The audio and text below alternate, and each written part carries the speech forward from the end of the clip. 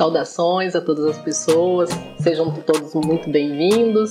Você está no curso de Introdução às Filosofias Africanas. Eu sou Vanilda Santos, professora deste curso. Eu sou graduada em Filosofia e Direito, mestre em Filosofia Social e Política pela Universidade Federal de Uberlândia e atualmente sou doutoranda em Direito pela Universidade Federal de Santa Catarina.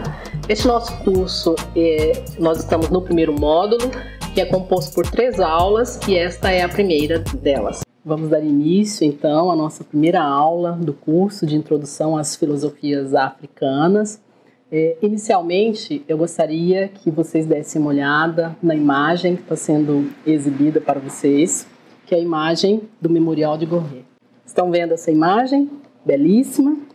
É, na sequência, uma outra imagem para dar início à nossa parte introdutória. Né? Essa imagem é do povo, de um ritual do povo Ancole, em Uganda. Vou exibir rapidamente para todos visualizar um, um vídeo de divulgação do governo do Senegal.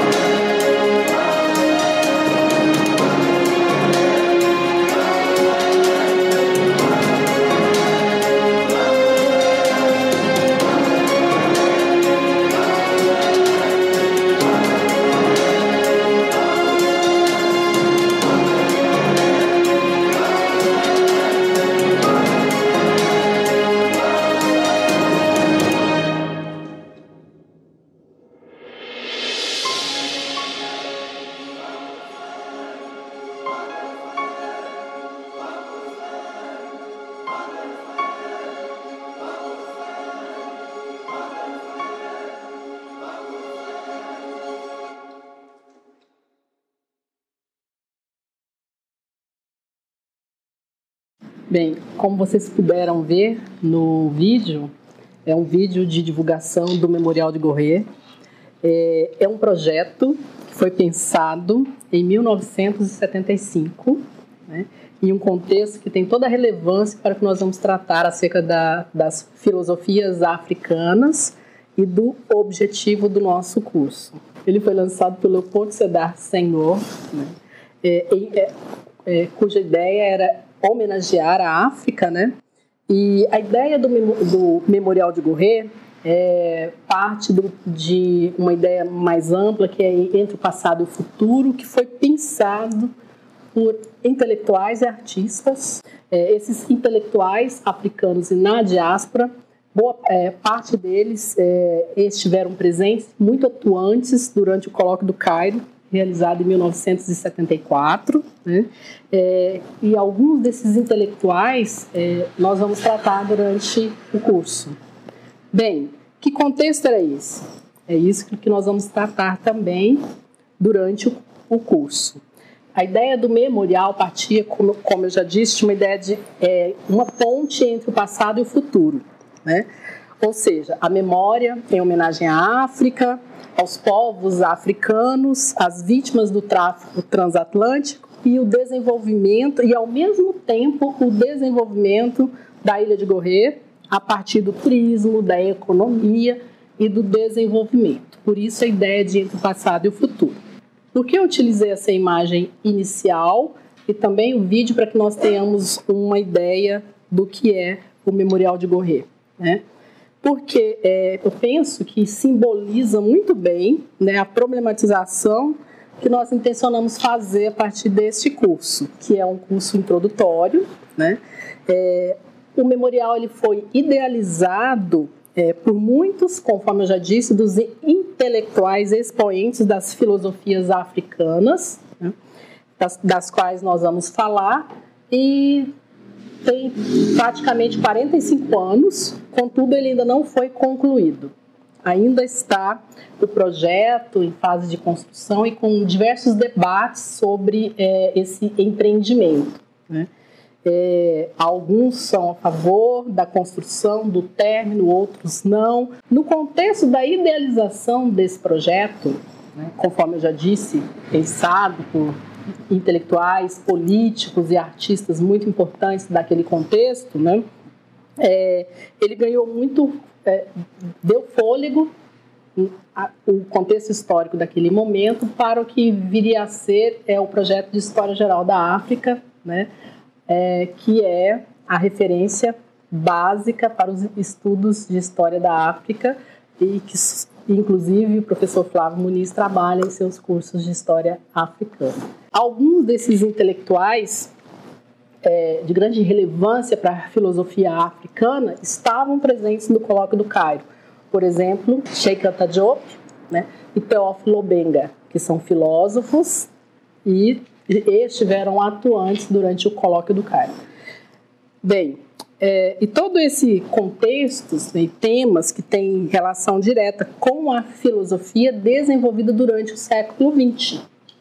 Por isso, a imagem é, foi exibida, porque durante o curso nós pretendemos né, discutir justamente essa relação entre o passado e o futuro e que lugar que ocupa as filosofias africanas nessa relação.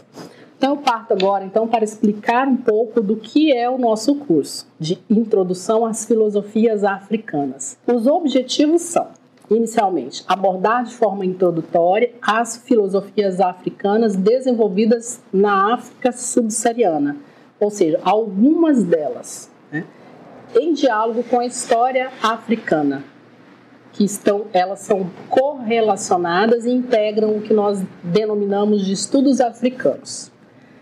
Bem, é, uma justificativa para essa proposta né, é, se justifica na medida em que é possível contribuir para romper com uma certa visão única de filosofia, que excluiu o pensamento filosófico de origem não ocidental, sobretudo de origem africana fundada naquilo que nós denominamos de racismo epistêmico. Né? É, bem, e pretendemos então articular os eixos históricos, é, os, os eixos histórico, temático, problemas e métodos. Por se tratar de um curso de introdução às filosofias, é, mesmo que em relação com a história africana, a ideia é partir inicialmente de, um, de uma questão qual é a questão que nos move? E a questão que estou propondo nesse momento é a seguinte: como as filosofias africanas influenciaram ou influenciam ou e influenciam as visões que nós temos sobre África. O que é então filosofia?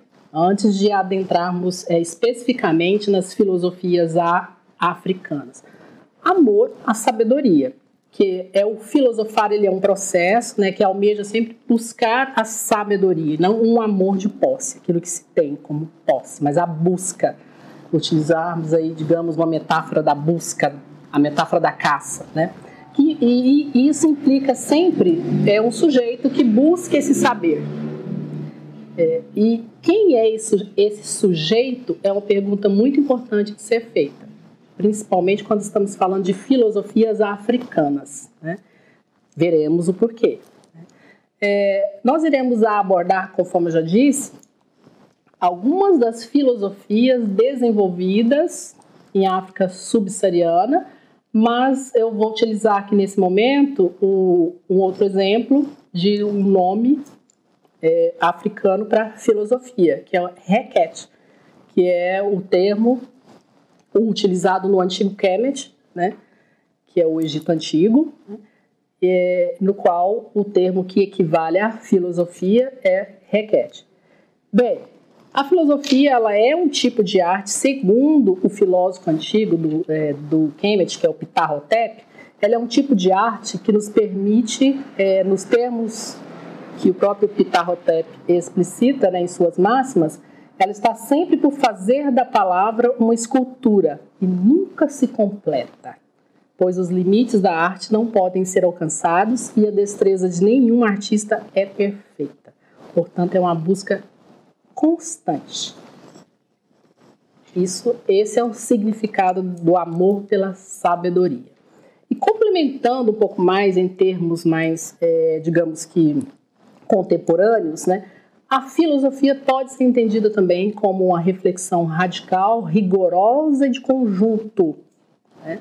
que é o objetivo uma consciência filosófica, ou seja, que além de estranhar, duvidar, questionar, estabelecer correlações entre as coisas, informações, fatos, indivíduos envolvidos e o contexto.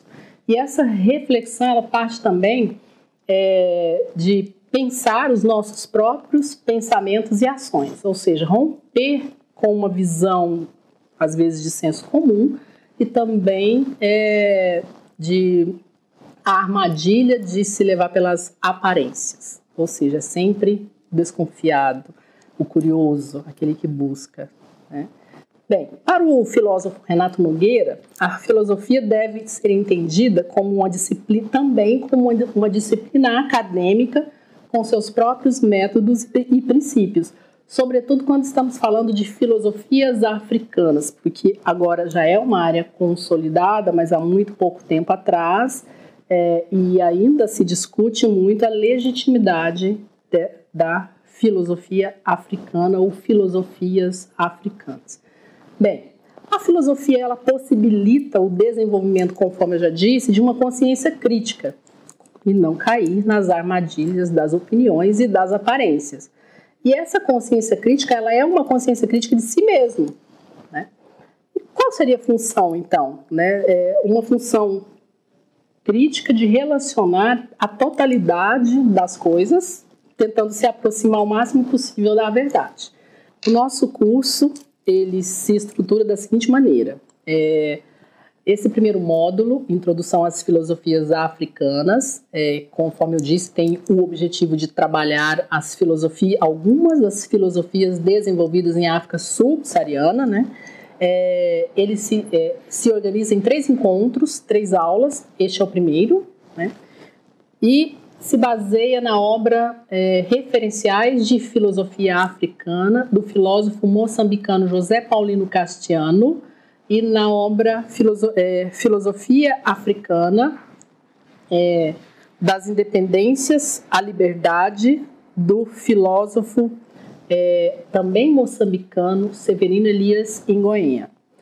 É, o curso de três encontros irá abordar é, dois desses referenciais. Na obra do José Castiano, ele pontua três referenciais: o referencial da objetivação ou etnofilosofia, é, o segundo é da subjetivação ou afrocentricidade, com foco na afrocentricidade, e o terceiro referencial, que são os três momentos da filosofia africana para o Castiano, é a intersubjetivação.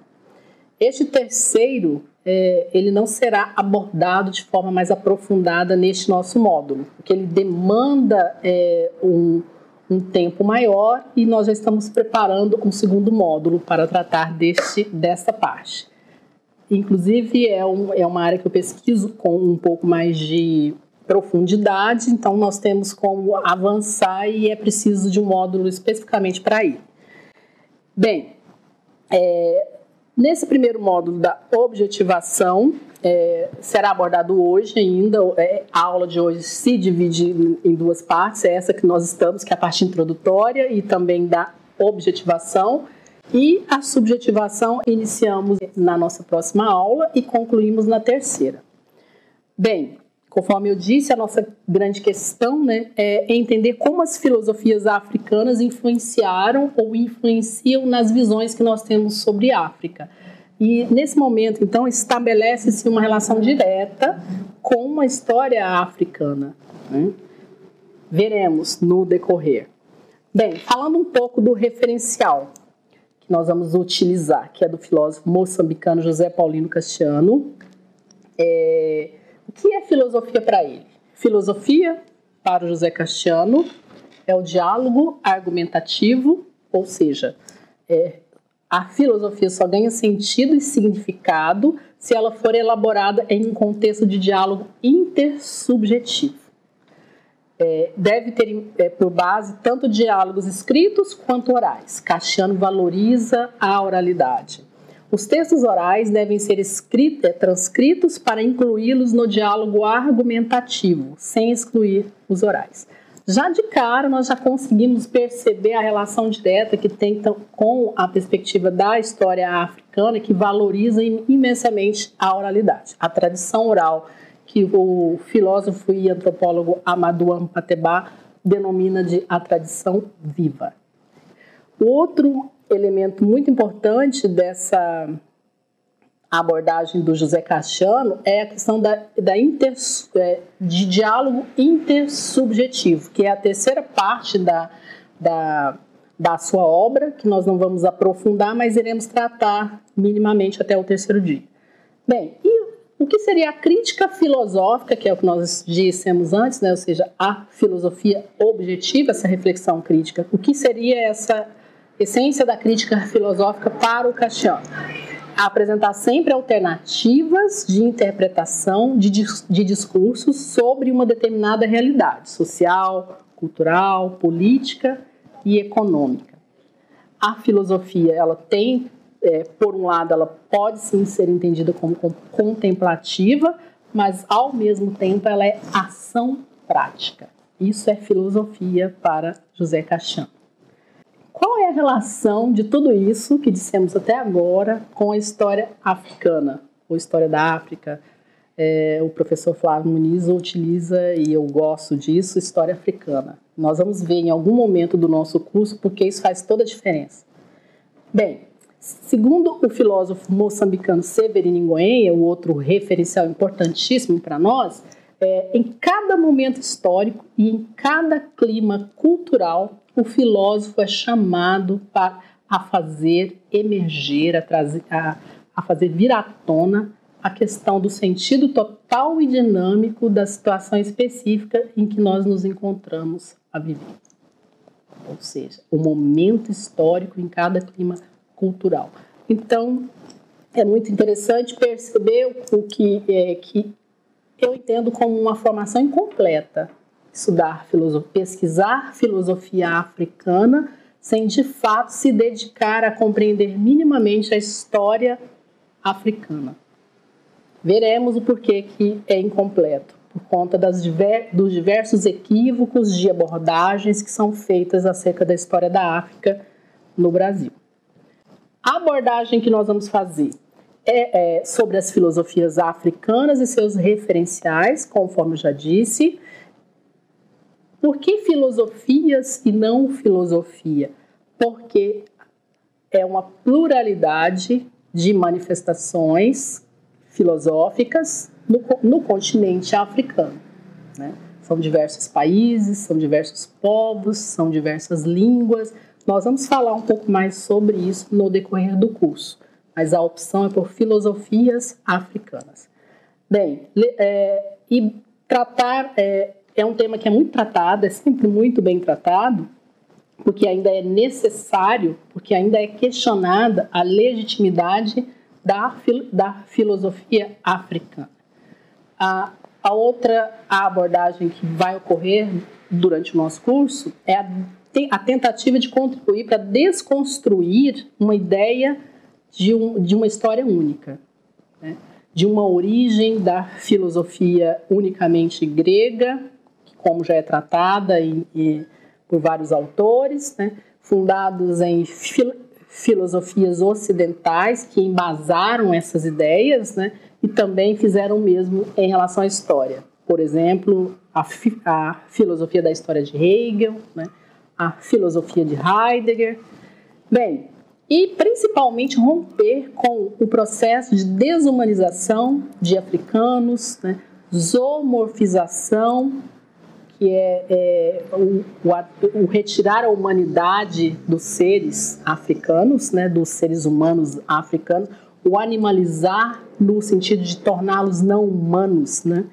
É, e com o racismo epistêmico, que é, o, o é, a morte, a eliminação dos saberes científicos, filosóficos, culturais, históricos, sociais, jurídicos de povos não europeus, sobretudo os de origem africana, por conta do racismo antinegro. O professor Renato Nogueira gosta, frisa essa questão do racismo antinegro por conta é, de que há uma especificidade quando se trata de povos de origem africana.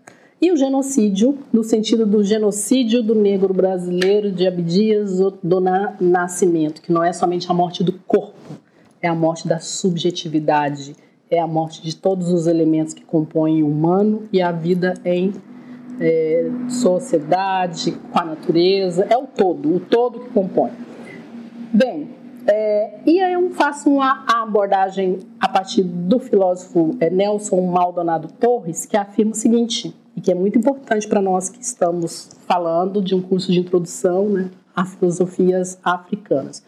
Filósofos e professores de filosofia, eles tendem sempre a afirmar as suas raízes numa região espiritual, falas de Maldonado Torres, descrita em termos geopolíticos quanto a geopolítica é importante. Que, que região é esta? A Europa. Né? Europa. E ainda é preciso falar sobre isso. Né? É preciso dizer não a essa exclusividade do Ocidente como aquele que, regula, é, que regula as epistemologias, né? o regulador epistemológico, porque existem filosofias e não uma única filosofia. É, e com, conforme eu já disse, esse é um tema que ainda precisa ser tratado, né? Mas por que, que ele ainda precisa ser tratado?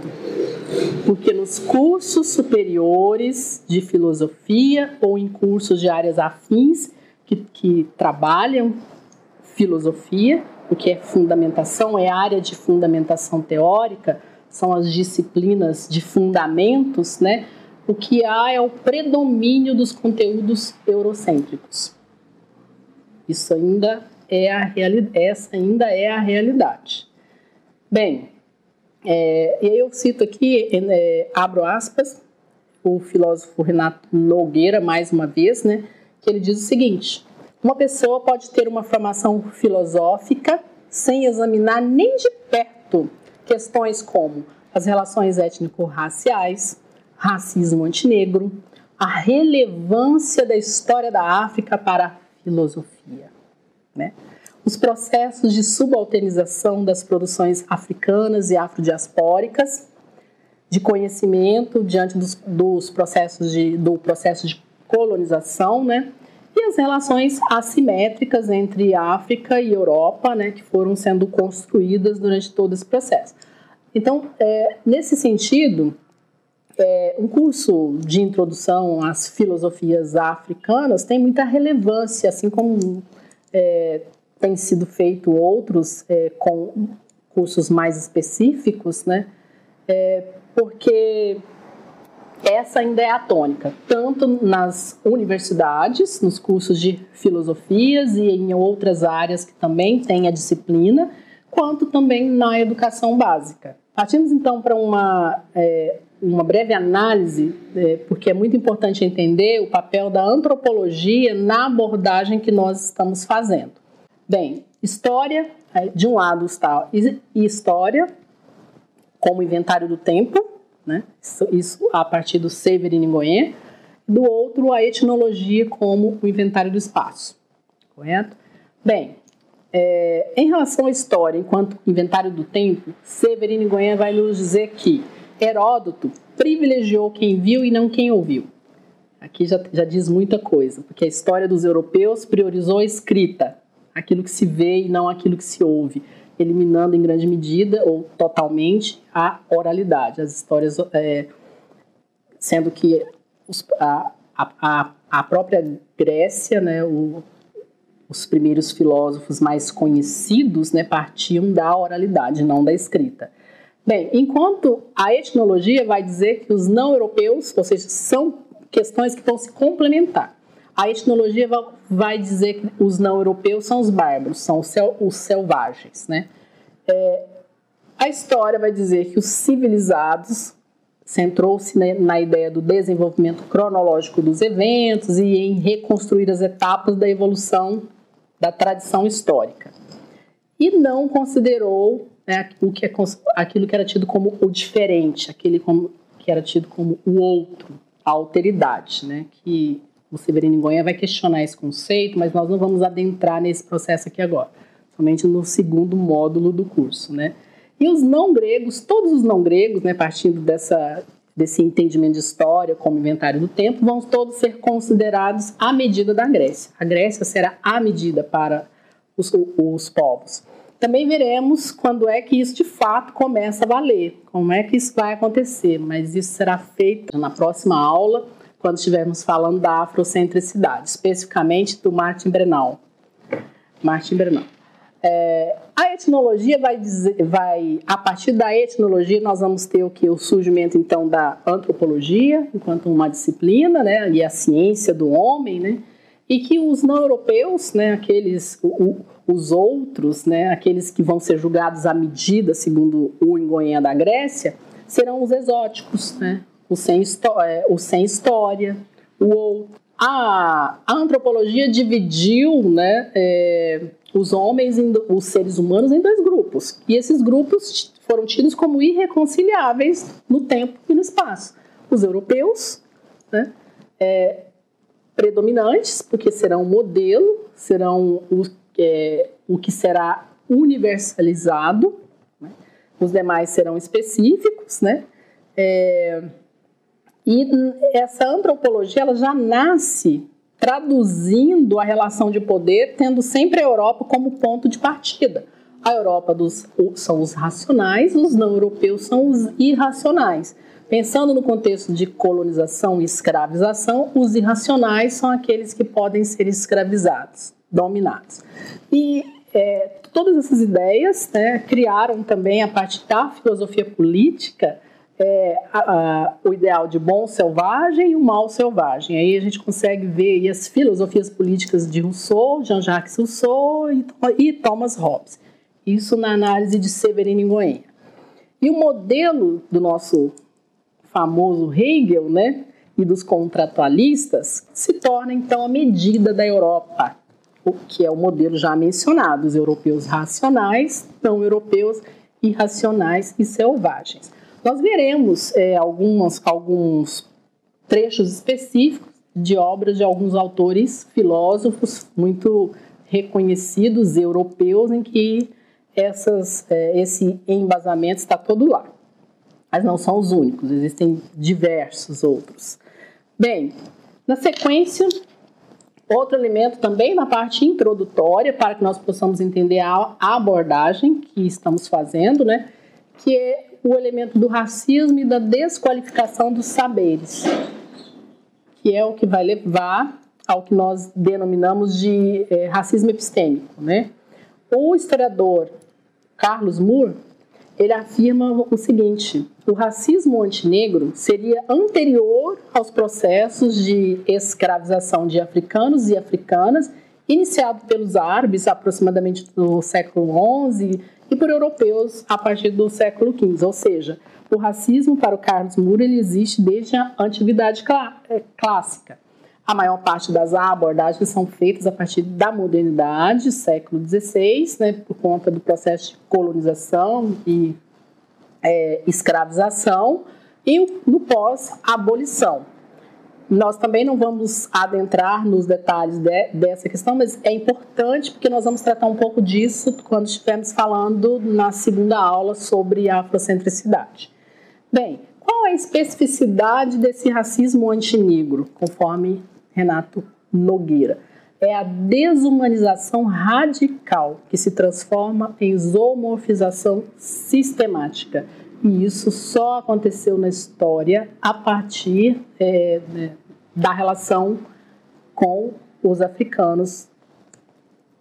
Bem, e aí chegamos então no racismo epistêmico, que é a base né, do que nós pretendemos desconstruir quando iniciamos né, algum tempo é, ou seja, e por outros antes de nós, né, tem sido intensificado os estudos em história africana e filosofias africanas. Né. É, o Renato Nogueira vai definir o racismo epistêmico da seguinte maneira: é, como conjunto de dispositivos, práticas e, e estratégias que recusam a validade das justificativas feitas a partir de referenciais filosóficos, históricos, científicos e culturais que não sejam ocidentais, conforme eu explicitei lá no início. Né? E a filosofia, então, ela passa a ser entendida como um fenômeno, um fenômeno unicamente grego, oriundo né, de origem de um milagre grego ou de um longo processo histórico certamente muitos estão reconhecendo isso aqui porque é dessa maneira que estão na maioria que está na maioria dos livros sobretudo nos livros didáticos né de filosofia e de áreas afins como a história por exemplo né? É, bem ocorreu então o apagamento da história africana e da e a história da filosofia africana e em algum momento do nosso curso, especificamente na segunda aula, nós vamos entender um pouco como é que isto ocorreu e qual é a relação que isso tem com a filosofia, com as filosofias, né? Bem, cumprindo o que eu prometi agora há pouco, né, vamos ver um pouquinho do que diziam os filósofos, alguns dos filósofos ocidentais sobre a África e africanos. Preparados? É muito provável que o que eu vou apresentar aqui agora vocês já devem ter ouvido, lido em algum lugar, porque são citações muito famosas, mas ao mesmo tempo permanecem nos causando um certo espanto quando as lemos, né? até porque são negadas, muito negadas por alguns. É, preparem-se, aqueles que não conhecem, preparem-se. Esta é do alemão Immanuel Kant, né? É, e ele diz exatamente o seguinte em sua obra é, Observações sobre o Sentimento do Belo e do Sublime. É, quando eu fui ler essa obra do Kant, eu fui empolgada na estética, lindamente, e de repente eu me deparo lá com a seguinte fala: Os negros da África não possuem por natureza nenhum sentimento que se eleve acima do ridículo. Dentre os milhões de pretos que foram deportados de seus países, não obstante muitos deles terem sido postos em, em liberdade, não se encontrou um único sequer que, que apresentasse algo grandioso na arte ou na ciência, ou em qualquer aptidão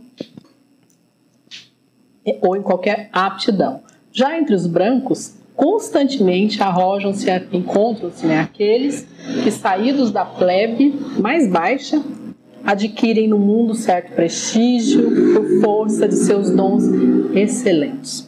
Sim, isso está lá no Kant, em pleno século XVIII.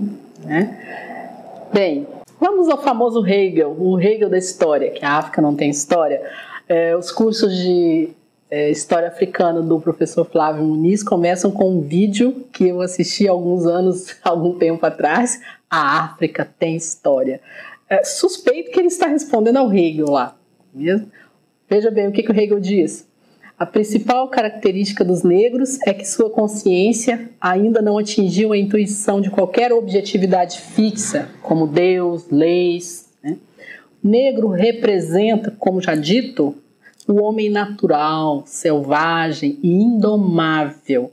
Neles, nada evoca a ideia de um caráter humano, ou seja, não eram humanos. Os nossos antepassados não eram humanos, não somos humanos. Entre os negros, os sentimentos morais são totalmente fracos ou inexistentes. Bem, é, fecho aspas, né? Essa citação revela aquilo que nós apresentamos lá no início, né? o processo de desumanização, zoomorfização, como o Renato Nogueira explica, ou seja, a retirar dos africanos e seus descendentes toda a sua humanidade e, por conseguinte, tudo que decorre de suas produções. É, chegamos ao iluminista Voltaire. É, esse é menos citado quando, é, quando se fala é, de como os filósofos ocidentais viam a África e os, seus, e os africanos, né, os seus povos. É, na obra do Voltaire, Tratado de Metafísica, ele diz o seguinte: examina um filhote de negro de seis meses, um elefantezinho, um macaquinho, um animal que caminha sobre duas patas, provido de um pouco mais de ideias. Ou seja, entre um, um filhote de negro e um animal que naquele contexto era considerado irracional, não havia diferença. A suposta universalidade da chamada razão, metonímia, que é o que é, tomou a parte pelo todo, que é aquilo que eu expliquei antes, tomou a experiência europeia, a experiência ocidental europeia, como toda a universalidade. Né? E essa razão instrumental do iluminismo, aí ela é branca e também é machista, que nós não vamos tratar disso, mas é essa característica Bem, e novamente, eu já, já pontuei isso lá no início, né, mas por que filosofias africanas? Aqui eu aponto alguns conceitos né, que são importantes, como o de pluriversalidade e de polirracionalidade, é, que o Renato Nogueira desenvolve. O de polirracionalidade é tratado também é, antes pelo filósofo Dimas Mazzolo. Através da pluriversalidade, da polirracionalidade e do reconhecimento da racionalidade de todos os povos dentro de uma perspectiva pluriversal. Pluriversal no sentido é, o, é, contrário à ideia de universal, que é uma experiência única que você universaliza. O pluriversal são diversas experiências, é a, pluralidade né, de todos os saberes que emergem em contextos culturais específicos, isto é, adventos locais que, por conta do seu caráter humano, podem ser validados em outros contextos culturais. Então, não é um relativismo, mas é a ideia de que são, é, é, do, são produções, são criações e são experiências humanas. Portanto, é possível universalizar as reflexões sobre essas questões. A pluriversalidade, conforme eu já disse, porque é o contrário de universalidade. E a polirracionalidade é o reconhecimento de que todos os povos possuem racionalidade. São diversas formas de racionalidade e não a racionalidade vista unicamente do ponto de vista europeu. Se nós não tratamos dessas questões conceituais inicialmente, os questionamentos é, serão muito rasos em relação às propostas de filosofias africanas que são apresentadas porque o referencial epistemológico é outro, não é o referencial europeu. E aos poucos, para quem não conhece ainda, vai vendo como é que isso se coloca. Né? Bem, é, e mesmo aqueles que sempre criticaram, né, que fazem duras críticas ainda ao, ao processo de globalização e também ao capitalismo, é, eles permanecem refém dessa visão eurocêntrica, que é a experiência europeia universalizada. Então, isso é muito comum. Bem, o que nós não devemos fazer para falar de filosofia, filosofias africanas?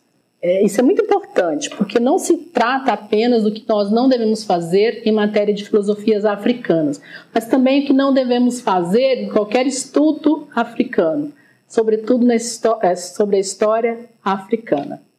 Primeiro, uma epistemologia essencialista, ou seja, sobre nós entre nós com epistemes sobre nós, sem diálogo, que é o que o Severino, que o José Cristiano vai chamar de diálogo intercultural, que caracteriza o terceiro momento da intersubjetivação, que nós não vamos aprofundar. E, mas essa abordagem também é válida para a gente pensar as, é, é, os tratamentos equivocados que são dados às tradições é, de origem africana e a história africana, né? que é, nós vamos ver ainda nesse referencial da subjetivação que é, universo, é tornar a ideia, é, a ideia, de África como algo monolítico, algo único, algo é, fechado, sem considerar a pluralidade e a diversidade. E também as culturas afrodiaspóricas. Então, é muito importante pensar nisso. Então, é preciso partir do nós, né? Mas não se restringir a essa visão essencialista, que é filosofar sobre é, é, um grupo fechado, como se não estabelecesse em relações. Isso não é, essa não é a realidade. E o segundo o José Castiano e o Severino Goenha, né, o foco dessas, dessa reflexão filosófica deve ser o futuro. Nós vamos compreender isso também, né? E nesse sentido, cada um de nós devemos fazer o melhor de si no lugar onde está, seja em África, no continente africano, seja, seja na diáspora. Portanto, é o pesquisador, né, é, o filósofo, o historiador que está, que, que está, que volta suas pesquisas, suas é, reflexões para os estudos sobre história africana e sobre filosofia africana, isso sem contar as demais áreas dos estudos filosóficos, deve estar pautado nesse sentido, né? Fazer o melhor de si. Portanto, compreender essas questões é muito importante. Mas a gente nós vamos tratar um pouco sobre essa essa postura. E o que, que importa para o Severino Goenha é pensar é, a possibilidade de pensar filosoficamente a realidade. Então, é isso que deve ser feito. E pensar filosoficamente a realidade implica conhecermos os contextos históricos, né, é, as grandes discussões e as questões que vão influenciar, sobretudo, a filosofia que vai ser construída naquele contexto. Bem, e a filosofia africana, então, ela vai se dividir em três fases de elaboração. Estamos falando de filosofias africanas, é, filosofia africana contemporânea, né, século XX para cá. E a primeira fase, segundo essa abordagem, nos anos de 1970, que por, por um lado seria uma crítica à reprodução das categorias com, é, coloniais, por, eh, e por outro um argumento de um nacionalismo africano, que seria, um, que seria o mesmo que recuperar os supostos valores africanos. Veremos como é que isso ocorre. Nos anos de 1980, e essa é a visão do Severino Goyen, que eu estou expondo. Nos anos de 1980, os autores vão tentar desenvolver uma filosofia da cultura em torno do exame das tradições africanas. Essa parte me interessa bastante. Quando estivermos lá, eu vou pontuar alguns elementos em relação à experiência brasileira de filosofia afrodiaspórica. É, do, nos anos 1990, né, quando se dá o, é, digamos que um se desenvolve um pouco mais a política do reconhecimento, é, do conhecimento como centro da reflexão filosófica, né? E que o objetivo é, é se esforçar para responder né, às crises, responder e teorizar sobre as crises dos estados africanos no contexto pós-descolonização. E é nesse contexto que a filosofia do Severino Goenha vai ganhar um espaço muito re relevante. E dessa maneira, então, eu concluo aqui nesse momento a primeira parte, que é a parte introdutória.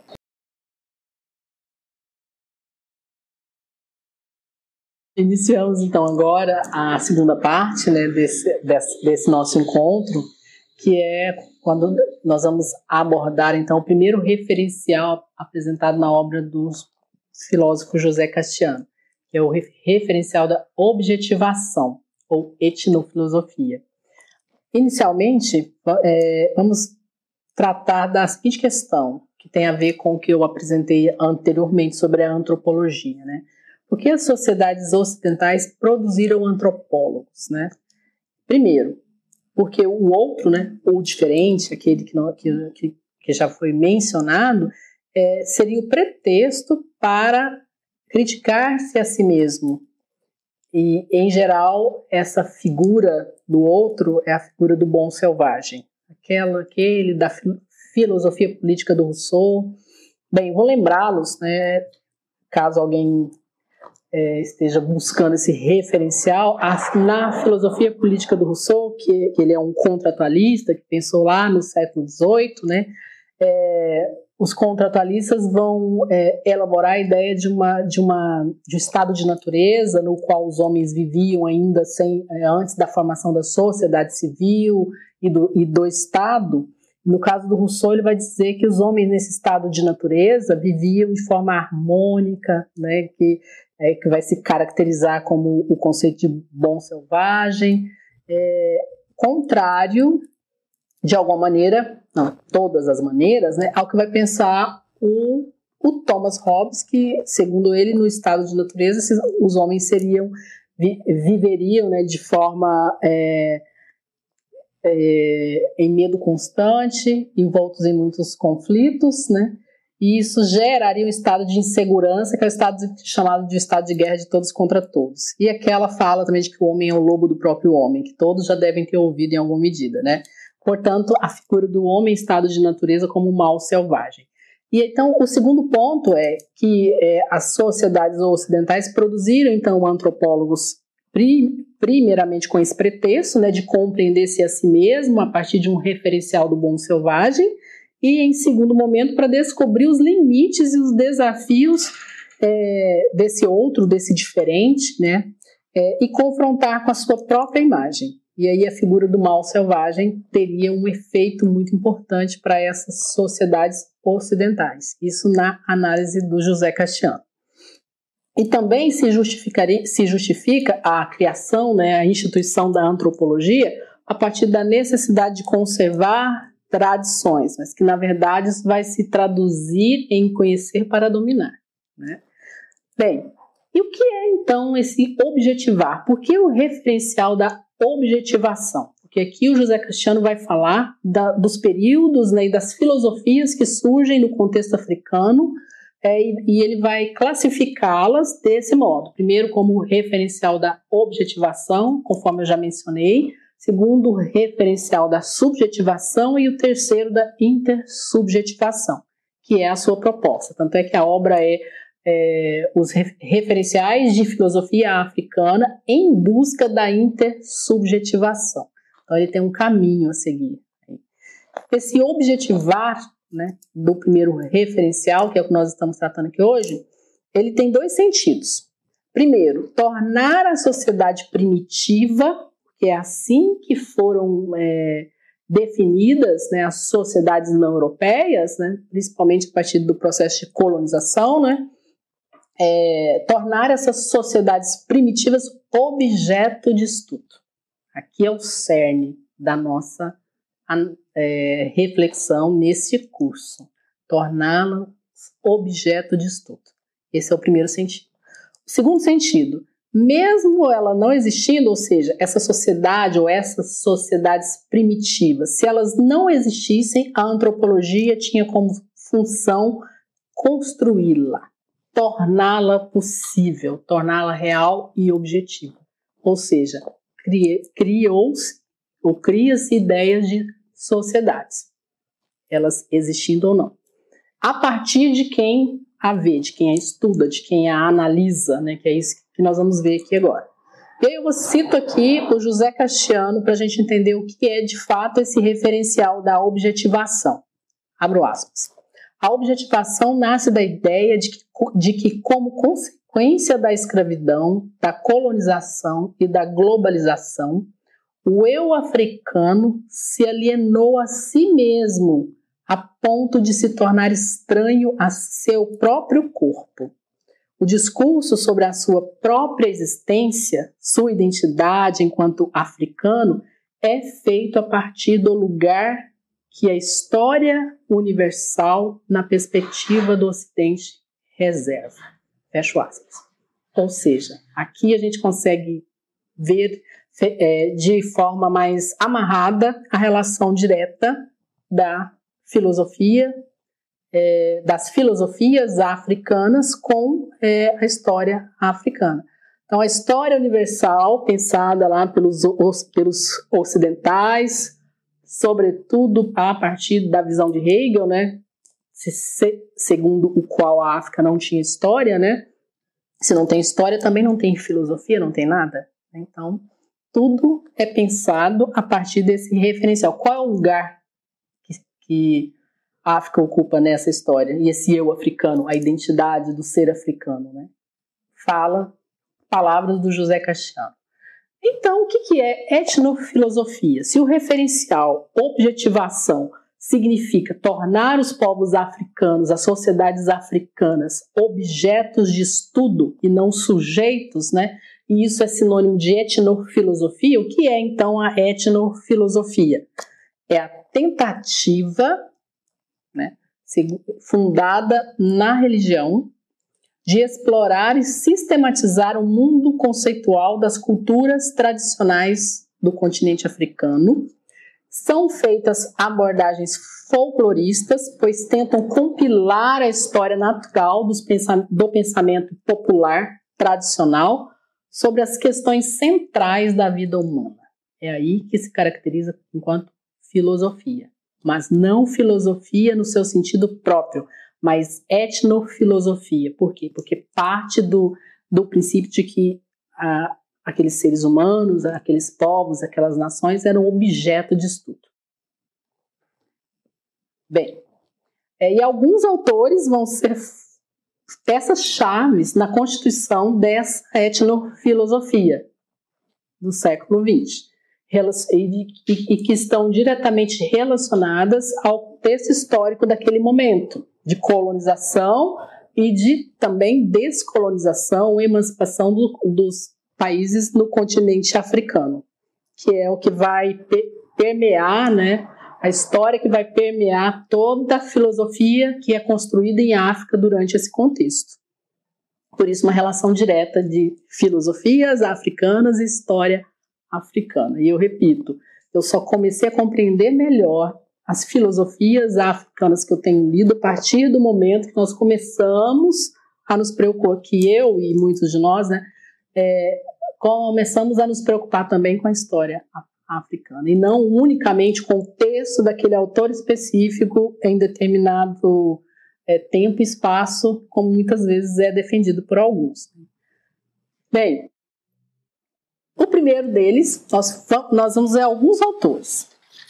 É, é, são, temos muitos, mas dado o nosso tempo e a proposta, né, que é introdutória, nós veremos um pouco da filosofia de Placide Tempos, Tempos a filosofia Banto, que é a sua obra principal, é, a filosofia de Marcel Briot, é, O Deus da Água, Diálogos com Ogotomeli, e do John Beach, John Beach, Religiões e Filosofia Africana. Cada um desses autores e suas obras é, teve um papel fundamental nesse contexto, tanto de instituição de uma filosofia africana, quanto na sua influência na visão é, que o mundo ocidental terá sobre a África e os africanos. E aí eu, é, a intenção é que nós, ao final do, do, nosso curso, possamos fazer uma relação com tudo isso, de, de tudo isso, com a questão inicial lá que eu propus, né? como as filosofias é, influenciaram ou influenciam nas visões que nós temos sobre África e os povos africanos, e com a, aquela ideia inconclusa né, do Memorial de Gorré. Bem, a filosofia Banto é a obra, é a principal obra do, do belga Placide Tempers, é, em, na qual ele elabora o que, nós, o que é denominado uma ontologia da força vital. Placide Tempo escreveu essa, é, essa obra, foi publicada em 1945. Né? É, e tem uma relação direta, que eu não, não vou abordar exatamente aqui na minha fala, mas nós faremos essa reflexão em momento oportuno, com a, a, o contexto histórico de colonização da Bélgica em países africanos, especificamente nesse caso no Congo belga. Bem, é, nessa obra do Placide Tempos existe um pensamento, é, é, é, demonstra, ele demonstra que Ele objetiva demonstrar né, que existe um pensamento metafísico, filosófico, uma ontologia entre os povos bantus. Tá? E a concepção de vida que ele vai de demonstrar nesse seu, nessa sua obra, a partir das suas observações etnográficas né, do, dos povos bantus, é, existe uma concepção de vida centrada na força vital. Por isso, uma ontologia da força vital. Essa força, ela está, centra, é, é, ela está em todas as coisas, eu vou tentar explicar essa força, essa concepção de força vital para Placide Tempos em sua filosofia banto a partir de uma experiência afrodiaspórica, a brasileira. A, a força vital, conforme ele disse, né, essa força que, que está em todas as coisas, que é suprema e que, que é o que move, né, que é o que dá vida e é o que dá é, é o que possibilita a existência de todas as coisas, ela está presente na, nas, nas tradições afro-brasileiras, né, é, a partir da filosofia do axé, tá? que é o, o, significado é a força vital. Bem, para o Placid Temple, o conhecimento é, se significa saber ou poder influenciar a direção da interação entre as forças. Isso é conhecimento para Bacitempo. Bem, eu não disse, mas Bacitempo era belga e era branco. Tá? É... Como é que ele contribuiu? Essa é uma pergunta interessante que eu fiz aqui para nós pensarmos, né? É, como é que Tempo contribuiu com o colonialismo? Né? Porque exatamente no contexto de grande expansão né, do, da colonização no Congo, é, porque a filosofia de Place Tempo ela vai atender a uma necessidade da Bélgica, que estava naquele momento preocupada em dominar os povos considerados primitivos em África, sobretudo no Congo. E o que, que Place Tempo fará? Na sua obra, ele vai explicar a estrutura do pensamento dos povos bancos. Então, a filosofia Banto é uma obra muito influente, muito influente, em que lá o Place Tempo vai explicar. E a questão é, quando você explica é, a estrutura do pensamento de um determinado povo, e o seu objetivo não é a promoção da liberdade desse povo, da autonomia, mas sim a dominação, então você está participando do projeto colonialista. E aqui Place Tempo se encaixa na objetivação, que é a ideia, sim, de tornar os, as, os povos africanos objetos de estudo. Com qual objetivo? Dominar. Por isso, etnofilosofia. E não filosofia, porque filosofia tem um compromisso com a liberdade.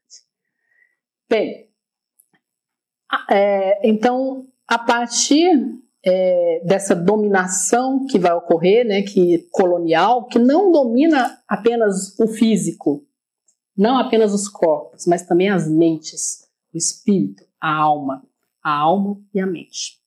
E a filosofia teve um papel fundamental nesse processo. Estamos aqui estudando um pouco sobre as filosofias no continente africano. Mas se nós formos fazer essa análise no contexto da afrodiáspora, não será muito diferente. Bem, e ele perguntava o seguinte: olha só o que, que o Placid Tempo tinha audácia de pensar, né?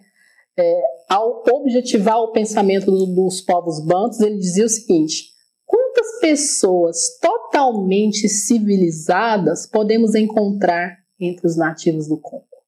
Então, toda aquela visão objetificante, é, é, é, é, destituir, destituindo os povos africanos, e no caso específico do Congo, né, no caso específico do Congo, de humanidade. Né? Não são civilizados, mas também não são humanos, são primitivos. Bem, so, é, abre aspas, passe tempo. Somente se nós partirmos da verdade, do bem e do estável nos costumes dos nativos, estaremos cap é, capazes de guiar os africanos em direção a uma verdadeira civilização banto. Ou seja, ao mesmo tempo em que eles aderem à ideia, claro, de inferioridade, de irracionalidade, de incivilizados, de bárbaros, né? é, dos povos do Congo, ele também é, observa e constrói toda a sua etnofilosofia na perspectiva de é, munir é, o colonizador de elementos para que, que devem ser inseridos né, nas suas, é, na sua forma de ver o mundo, mas não com o objetivo de, digamos que, inclusivo ou de é, autonomia, mas com o objetivo de dominar. Ou seja, introduzir o que é positivo nessas filosofias presentes na, nas tradições bantos na religião ocidental. Olha o quanto isso é sério. Porque isso não vai acontecer só na religião. As apropriações elas serão imensas. Existem diversas questões que são tratadas em países europeus, sobretudo na Alemanha, Bélgica e outros, que são apropriações do continente africano, que foram constituídas nesse contexto da observação, da digamos, do, de compilar as tradições, e isso e muita coisa sim foi incorporada, né? Tanto é que a proposta do Tempos é essa, incorporar o que tem de positivo. Estamos compreendendo aí por que objetivação, né? Bem, segundo o Placitempo, essa força vital, ela é a fórmula para civilizar os bandos. Então retira dos próprios bandos a forma para dominá-los. Bem, e na, nessa filosofia da força vital, é, ela emana de quem? Do ser humano, que em Banto é o, o mundo, nós vamos discutir um, um pouco mais sobre isso quando estivermos falando da filosofia Ubuntu, lá no referencial da subjetivação. Né, o sinônimo de ser humano em Banto é Ubuntu. E que, para o Placide, para o Tempos, há uma filosofia latente, escondida no inconsciente do ser, no inconsciente dos seres humanos, e ela está presente nas religiões, nas, e nós podemos verificar na nossa realidade afro-brasileira, na afrodiáspora, né, nas tradições ressignificadas, né, como, por exemplo, as tradições de terreiro, as religiões de terreiro, é, as diversas manifestações da congada pelo país e as irmandades religiosas negras no Brasil. Mas isso é assunto para um outro curso, para outras questões, não, não há tempo hábil para isso aqui. É, e aí o José, o José Castiano vai fazer, ele fará assim, diversas críticas, né, a alguns autores da etnofilosofia, especificamente a Place Tempo, né. É, ele vai dizer o seguinte, que essa, é, essa forma de fazer filosofia do Tempos, né, reflete, é, ela deve considerar essa questão, abro aspas, é, filosofia reflete sobre a experiência humana, sem, no entanto, se reduzir a ela. Essa é uma questão muito importante, muito importante, de todos os tempos. Né? Filosofia implica a reflexão intelectual que não deve ser confundida com a visão sobre o mundo que nos rodeia. Visões de mundo não é sinônimo de filosofia, porque conforme eu apresentei lá no início, filosofia é a reflexão crítica, né, que se propõe a ser radical, de conjunto, rigorosa, e ao mesmo tempo ela é pensar os nossos próprios pensamentos e ações, portanto, uma reflexão. Então, não é simplesmente a visão que eu tenho sobre determinada questão. E nesse referencial da filosofia é, tida como objetivação, a etnofilosofia, o tempo estava fazendo, segundo o Castiano, uma filosofia nesse sentido, a experiência como sinônimo de filosofia. Então ele compilava os dados que serviriam né, para munir o, a Bélgica de elementos para dominar o Congo e dava o nome disso de filosofia. E esses dados são dados das tradições religiosas, né? Então é, esse foi esse é o primeiro autor do referencial da objetivação, né? Vamos ver um pouquinho sobre o segundo autor da etnofilosofia, que é o Marcel Griot. É, Marcel Griot ele vai fazer um paralelo da cultura Dogon com a cosmologia de Anaximandro, que é o filósofo pré-socrático da filosofia antiga grega. Né? Segundo o Ogotomeli, o sábio do povo Dogon, a existência só pode ser compreendida a partir da existência de Ama, que é o Deus Supremo, e o espírito geral de todas as coisas do universo e do movimento. O Ama, o Deus Supremo, criou o nomo, que é a palavra, água e calor ao mesmo tempo. O nomo, que é a palavra, né, apela à teoria da cosmo, é, cosmogônica de Anaximandro, segundo o qual né, Anaximandro vai dizer o seguinte: a existência de todas as coisas é, se dá a partir do apeiron, é o princípio, é, que é o elemento primordial, a causa de todas as coisas, é a resposta para a arqué, que é o princípio de tudo, lembrando da filosofia grega, né? Segundo, é, é, o apeiron ele é então uma realidade infinita, ilimitada, invisível, indivisível indeterminada então, ela é a essência de todas as coisas que, que existem no universo, né? no qual é o cosmo. É arqué, conforme eu disse, o elemento primordial, primordial que dá origem a todas as coisas, que é o ser. Então, a, a partir da, de uma comparação com a filosofia de Anaximandro, o Ogotomeli vai validar ali o que o, o sábio do povo Dogon está apresentando como a, a, o, a sua compreensão de mundo. Então, há uma validação a partir do ocidental. Bem, e aí, o, o segundo o Cassiano, é, ele faz algumas considerações muito importantes que nós devemos é, destacar.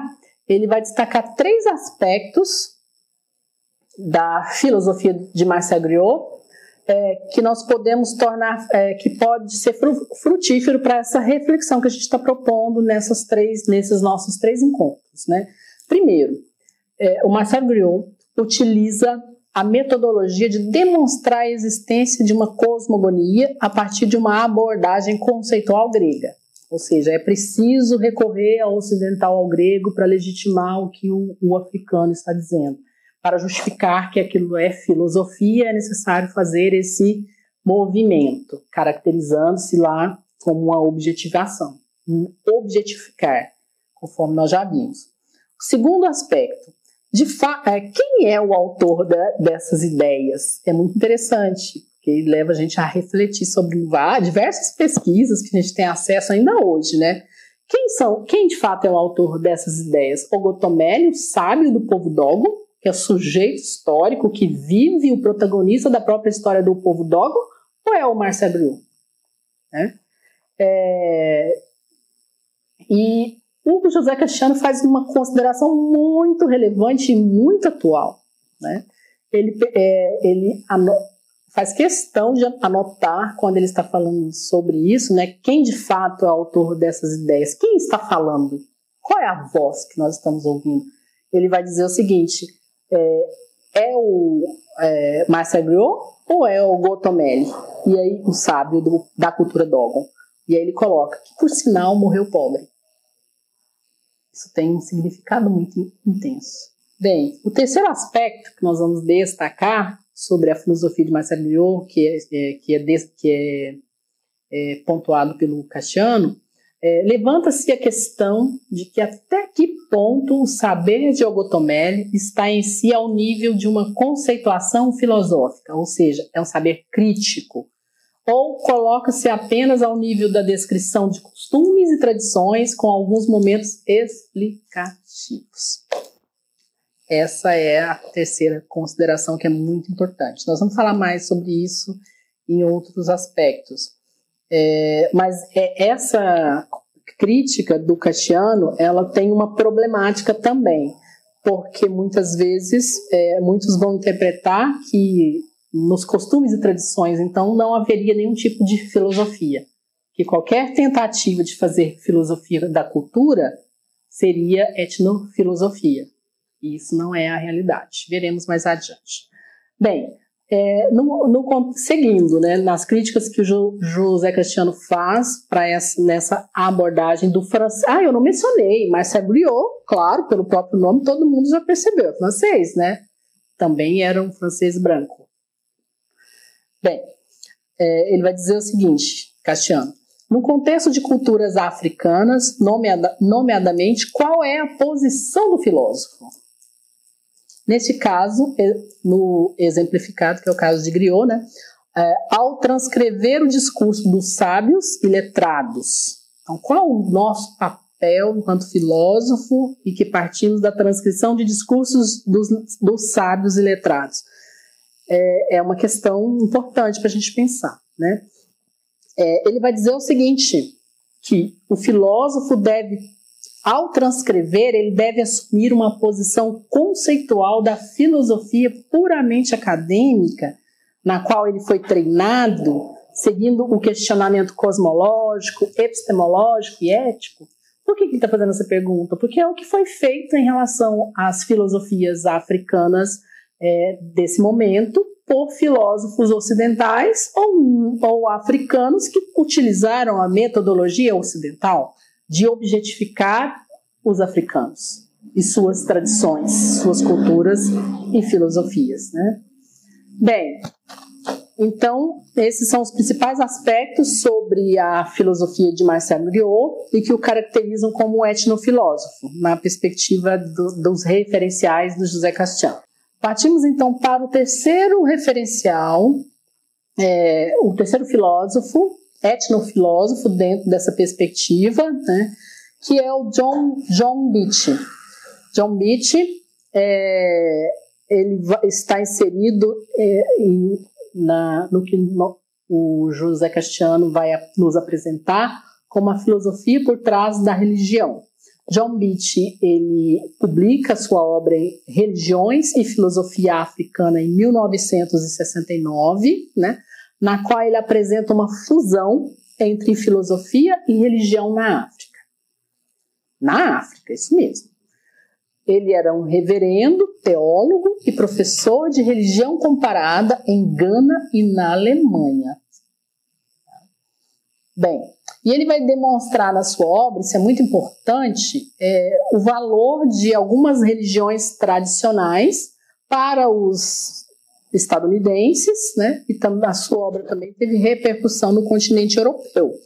Então, ao fazer isso, ele vai contribuir sobremaneira para romper com preconceitos em relação às religiões africanas. Né? Contudo, o que, que vai acontecer para além desse aspecto que é relevante e positivo? É, ele vai, é, a sua obra, pelo alcance que tem e o modo como ele é, é organiza, elabora sua filosofia, é, vai contribuir para generalizar para toda a África o que é uma experiência particular de alguns povos, sobretudo do leste africano e com uma concepção única de África. Isso nos interessa muito. Está presente nos textos de, do, de John Beach ter, é, expressões como os africanos, as sociedades africanas, os povos da África, tudo de forma generalizada. Né? Aqui tem uma fotinha de John Beach, ele é negro e africano, né, de Gana. Bem, em relação à filosofia que John Beach vai apresentar para o mundo, né, é, e que é o aspecto positivo, né, embora de forma generalizante, ele vai é, é a, a, sua filosofia sobre o tempo, que é muito, muito interessante e muito importante também para nós compreendermos elementos não, é, não somente da religiosidade africana, mas das todas as tradições e da, fi, da filosofia. Ele vai dizer que o tempo se divide em, zam, Zaza e Zamami. O Zaza é o tempo presente né, e o Zamami é o tempo passado. Isso é muito interessante para os historiadores. Né? o tempo presente, que é o Zaza, ele é quando o, quando o futuro é um tempo breve, ou seja, está próximo não é, é, é, incomensurável, ou seja, não pode ser medido, não se mede esse tempo, né? E quanto, ma quanto maior é a vida de um indivíduo, maior será o seu sasa, seu tempo presente. É nesse tempo presente que se cruzam as experiências individuais e coletivas das pessoas vivas no mundo material. Portanto, segundo essa concepção, não faz sentido, não faz sentido pensar um evento para além do, do real, para além do tempo presente. Bem, é, esse SASA, segundo o John Beach, ele é o período em que é possível o indivíduo ou uma determinada comunidade tomar consciência da sua existência e, na base dela, projetar-se para o futuro e para o passado. O que ocorre é que, dessa maneira, tem-se uma dimensão temporal completa, ou seja, futuro imediato, o presente, que é dinâmico, né? E o passado, que é o que foi experienciado, que é o que foi vivido. Bem interessante, né? É... E, o, e o Zamami, que é o tempo passado, ele contém em si mesmo o passado, o presente e o futuro. É muito interessante que nós vamos encontrar essas concepções aí depois de que o John Beach publica sua obra, perdão, não, não sei exatamente a, a dimensão temporal, mas outros filósofos não ocidentais também vão tratar dessa questão a partir de elementos da tradição africana que, que eles têm acesso, que é o tempo enquanto duração, como por, por exemplo Henri Bergson, francês. Bem, e todo Sasa, que é o tempo presente, ele vai se tornar, ele se torna o Zamami, que é o tempo passado, né? É, continuando, antes de os eventos serem incorporados no Zamami, o tempo passado, eles devem ter tido a sua realização e atualização no, no tempo presente, que é o SASA, né? Então, o tempo passado vai além do tempo presente e, e, é projetado para um período em que nada mais pode acontecer. Se é o tempo passado, nada mais pode acontecer. Então, essa ideia de tempo passado para o John Beach, ela integra né, em si todas as criaturas, tudo que existe na criação, né? e dá uma sensação de harmonia no universo entre todas as coisas, entre todos os seres. E, e a concepção de morte né, nessa no Zamami, que é o tempo passado, né? ou seja, perdão, a concepção de morte para esses povos, segundo John Beach, é a morte, é a passagem do Sasa para o Zamami. Ou seja, essa é a morte. Então, é, é uma completude. Por isso, nós compreendemos então que a concepção de morte para esses povos é completamente diferente. Óbvio, todos nós já sabemos, né? mas é muito interessante entender que tem uma relação direta com a concepção de tempo. Essas duas concepções de é, noções de tempo, é, elas têm, de acordo com John Beach, né, consequências, isso é muito importante para nós, então é o que tem de positivo na sua um dos aspectos positivos, mais um né, da sua filosofia, é que elas, é, essa concepção de tempo tem consequências na conceituação africana de história. Por isso, se nós não nos atentarmos para, essas, para esses elementos que compõem né, é, é, as, as filosofias africanas, nem mesmo a história africana que nós fizermos fora do continente vai fazer sentido. Porque está, corremos o risco de fazer o quê? Uma interpretação a partir de nós. Né?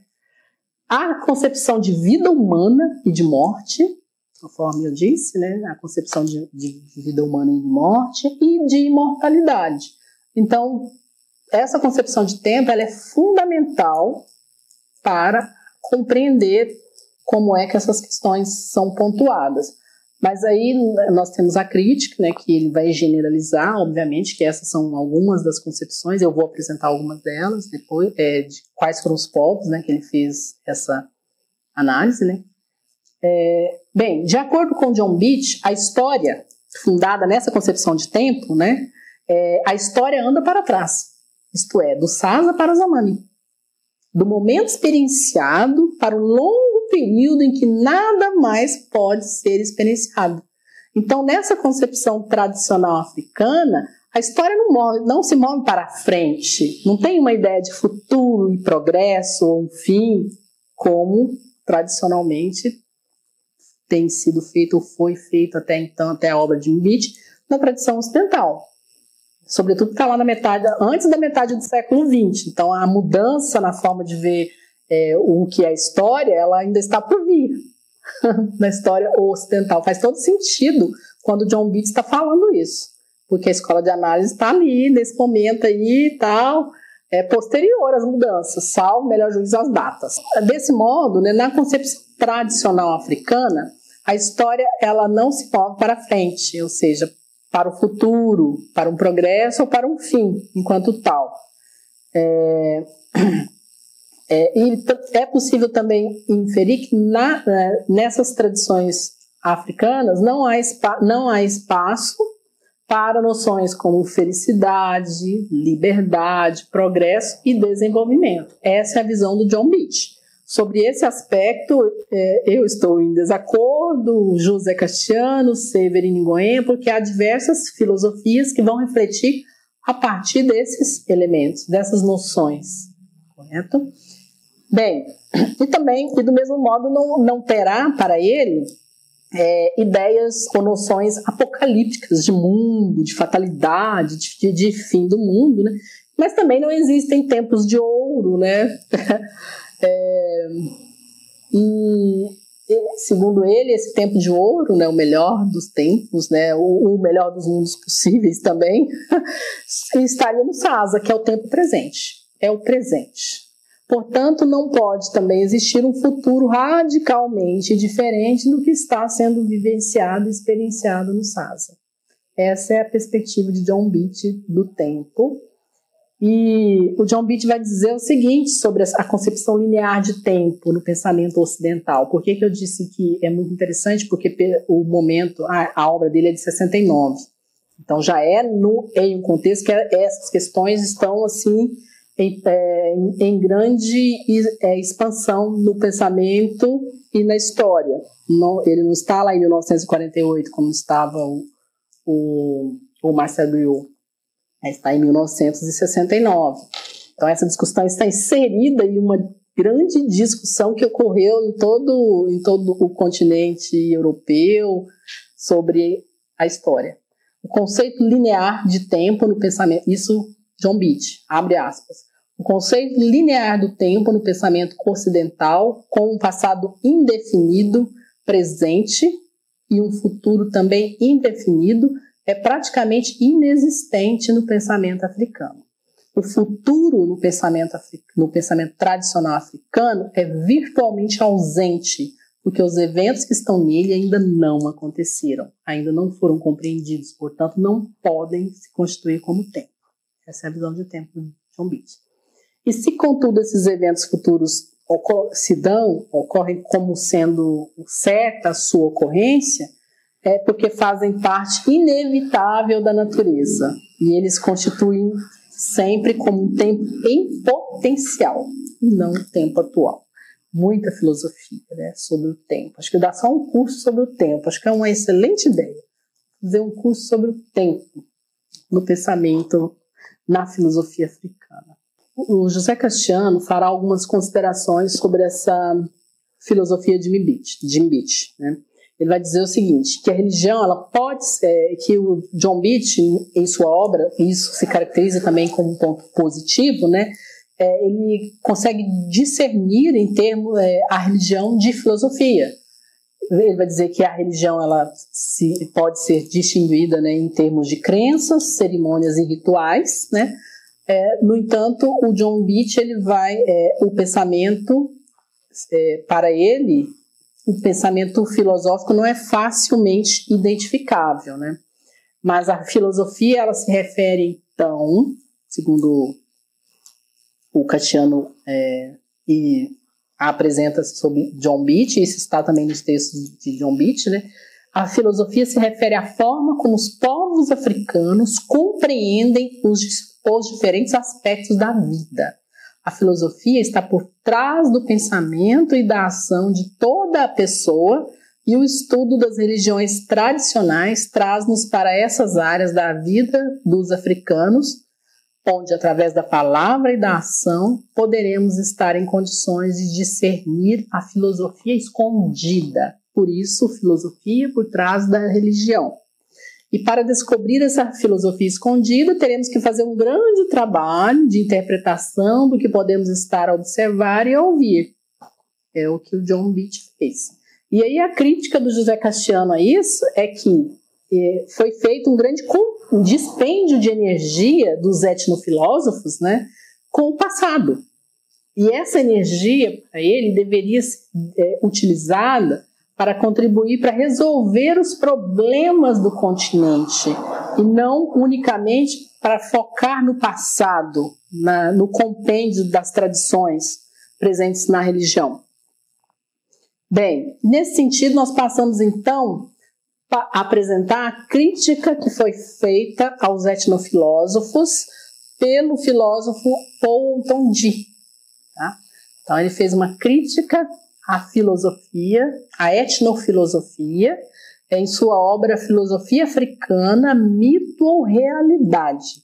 O Ontondi era do Benin, que é o antigo, é, que está onde era o antigo reino de Daomé. A obra de Ontondi ela foi muito premiada, tá? É, é, considerado um dos 100 melhores livros africanos do século XX. É, ele recebeu esse título na Feira Internacional do Livro de Los Angeles. Né? Ele vai apresentar aspectos positivos e negativos. O positivo é que os problemas levantados em relação à etnofilosofia e às etnociências provocaram reflexões né, sobre o que é a filosofia africana e o seu papel no desenvolvimento né, do continente. E as, elas também, é, os problemas também reorientaram o projeto de desconstrução do discurso ocidental sobre África. Ou seja, é, esses aspectos são muito relevantes e vão é, e prepararam de certo modo o caminho para o que virá é, em termos de reflexão sobre África, é, que vai ser apresentado no nosso segundo momento, é, no, re, no referencial da subjetivação. Bom, os aspectos negativos é que essa, a etnofilosofia ela inibiu o desenvolvimento de reflexões filosóficas de caráter oral e tradicional. Ou seja, for, são apenas descrições, compêndios, né, é, objetificando os africanos e suas tradições e não uma reflexão filosófica de fato, uma filosofia a partir da cultura. É, bem, infelizmente, isso também provocou um atraso no projeto de construção de novos quadros conceituais, a partir de imaginários coletivos dos povos, segundo Severino Goiânia neste caso.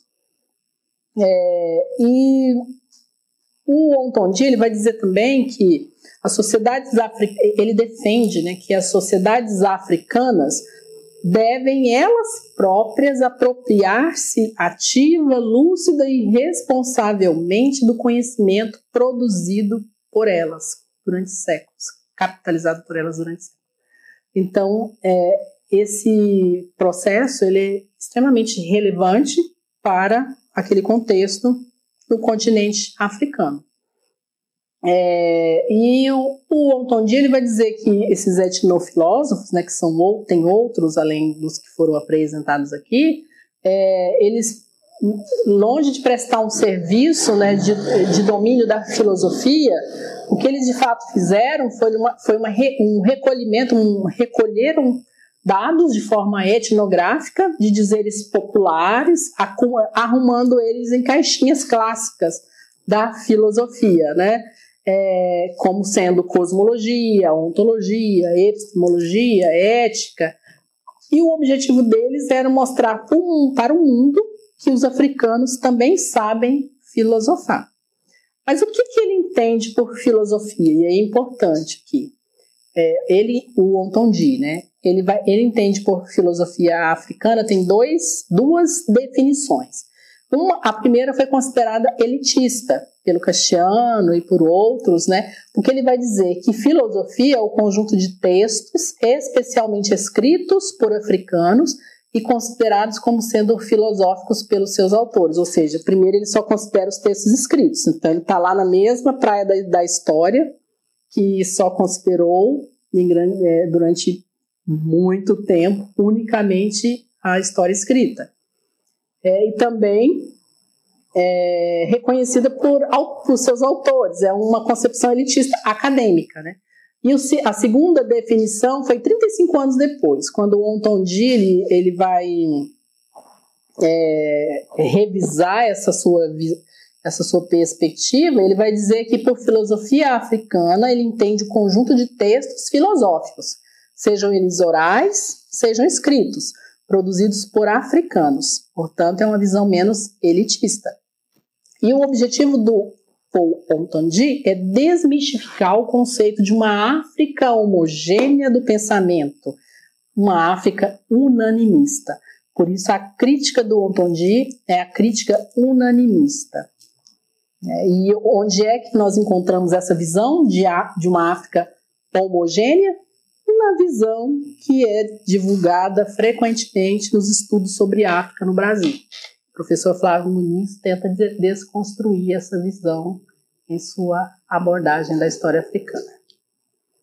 Bem, e a filosofia africana, né? Na, e a, a, história africana, né? É, segundo o Paul Ontondi, aqui eu concordo com a, a abordagem dele, é, abre aspas, na África fazem ou deveriam fazer parte de um projeto mais amplo, conhecer-se a si mesmo para transformar. Portanto, é filosofia propriamente dita. Então, é, isso é muito importante porque já é o ponto de partida para a nossa segunda aula, que é o referencial da subjetivação. E o filósofo Severino Ingoenha vai fazer uma crítica à etnofilosofia, que ele denomina de crítica radical. Para ele, o compromisso da filosofia é com o futuro e não com o passado. E ele, ele considera que é legítimo que nós interroguemos sobre o lugar da, da filosofia na problemática da construção do futuro. E eu gosto muito do Severino Ingoen e dessa sua abordagem, é, lembrando que ele não descaracteriza a importância do passado, mas o modo como a etnofilosofia foi desenvolvida. Se não nos dedicarmos ao futuro, ele será igual ao passado. Severino Ingoen.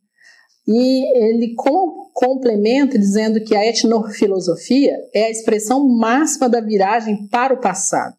Deve haver uma ruptura epistemológica com o pensamento tradicional. Foi radical nesse sentido. Então aqui ele é. Aqui eu já sou mais comedida, se fosse para ser a minha análise, mas não é. Estou apresentando unicamente a análise do Severino Goiânia. Para Ingoenha, Ontondi não faz crítica radical. Sua definição de filosofia é eurocêntrica, por isso uma objetivação. Etnofilosofia. Bem, e sobre a tradição oral? Gosto, é, o Severino Ingoenha vai dizer que a tradição oral é objeto, aqui ele já é mais comedido, tá vendo? Quando fala, então não é toda tradição que tem que ser abandonada, não é toda tradição, então, é o modo como se aborda a tradição. A tradição oral é objeto para reflexão crítica e livre, mas ele alerta sobre dois aspectos que são armadilhas. Há muitos textos considerados sendo de natureza filosófica sem ocorrer a ruptura epistemológica entre o pensamento tradicional e filosofia, que é aquela questão. Filosofia é a reflexão sobre a experiência, não é a experiência e nem a visão que eu tenho sobre a experiência. É a reflexão. A filosofia africana, que é o segundo aspecto, deve retomar o valor intrínseco para se libertar do passado. Que valor é esse? De universalidade, que significa para ele livre pensar crítico e imparcial, que é refletir em relação ao papel que deve desempenhar em relação ao destino dos africanos. Ou seja, pensar em resolver os problemas do continente focado no futuro. A, filosofia que reflete sobre as questões e que propõe soluções para essas questões. A confrontação com a tradição, para o Severino Goenha, que faz muito sentido, deve ser feita tomando em conta a África presente. E o Cassiano, José Cassiano, nosso referencial básico, vai fechar com chave de ouro, né? É, o nosso, a nossa abordagem, ele vai apresentar o seguinte: olha só a reflexão do José Cassiano. É uma vergonha a metodologia acadêmica que só parta de textos escritos, recusando seu trabalho de transcrição oral. Né? Então, ou seja, eles não descaracterizam a importância da tradição oral e da transcrição oral, mas o que foi feito com elas. É, para o José Cassiano, que fecha com a chave de ouro, né, ele vai dizer que é uma vergonha a metodologia acadêmica que só parta de textos escritos, recusando seu trabalho de transcrição oral. significa que eles não descartam a importância da tradição oral, da transcrição oral, mas o que foi feito com ela, que é a reflexão filosófica é, tida como filosófica durante é, esse período, né, que foi a etnofilosofia, não era de fato filosofia. E os críticos eles reconhecem que existem colegas de filosofia nas aldeias, isso é muito importante, mas não, por quê? Por que nas aldeias? Porque foram lá que eles foram conversar com os sábios, foi de lá que eles retiraram todas as tradições orais que produziram suas filosofias. Então eles reconhecem que existem filósofos nas aldeias, mas não chamam esses mesmos colegas para a mesa de, do, do debate, à semelhança dos etnofilósofos. Aqui eu chamo atenção porque é muito importante a gente entender essa abordagem a partir do contexto africano, porque essa reflexão ainda precisa ser feita na diáspora brasileira. Porque aqui também, aqui nem se reconhece ainda que existem os intelectuais, os sábios, os filósofos, os, é, os sujeitos dos saberes nas comunidades, né? Muito menos que os chamem para a mesa do debate. Utilizando os termos do José Castiano, eles continuam fora da festa. Não é à toa que ele colocou, a, é, chamou atenção para o fato de que o Gotomelli morreu pobre. Bem, bem, dialogam com as filosofias, ou seja, esses críticos né, dialogam com as filosofias das culturas dominantes, mas têm uma dificuldade em tomar conta das filosofias dominadas. Isso pensando no contexto africano. E nesse sentido, nós fechamos nossas considerações de hoje fazendo um, um convite. E aí eu deixo a imagem, é, o monumento é maravilhoso, em homenagem a Mandela, na cidade de Pretória, na África do Sul, e ele está nos convidando para nos encontrarmos no nosso, na nossa próxima aula sobre a subjetivação e a afrocentricidade, cuja figura, cuja personalidade de Mandela tem um papel muito importante. E eu agradeço a todos pela atenção.